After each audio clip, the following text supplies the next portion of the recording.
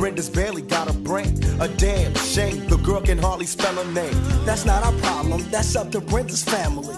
Well, let me show you how it affects our whole community. Now, Brenda really never knew her moms, and her dad was a junkie putting death into his arms. It's sad, cause I bet Brenda doesn't even know. Just cause you're in the ghetto doesn't mean you can't grow.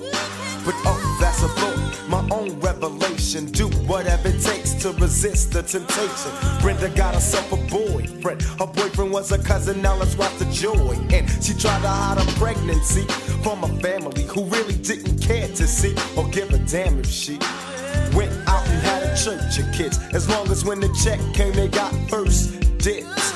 Now Brenda's belly's getting bigger, but no one seems to notice any change in her figure. She's 12 years old and she's having a baby. In love with the molester who's sexing her crazy. And your aunt also thinks that he'll be with her forever. And dreams of a world with the two of them are together. Whatever. He left her and she had the baby solo. She had it on the bathroom floor and didn't know so. She didn't know what to throw away and what to keep. She wrapped the baby up and threw him in the trash heap. I guess she thought she'd get away, hear the cries. She didn't realize how much the little baby had her eyes. Now the baby's in the trash heap, bawling. Mama can't help her, but it hurts to hear her calling.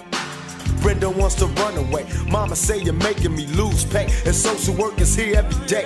Now Brenda's gotta make her own way. Can't go to a family, they won't let her stay. No money, no babysitter, she couldn't keep a job. She tried to sell crack, but ended up getting robbed. So now what's next? It ain't nothing left to sell. So she sex as a way of leaving hell. It's paying the rent, so she really can't complain. Prostitute found, swing. And Brenda's her name, she's got a baby.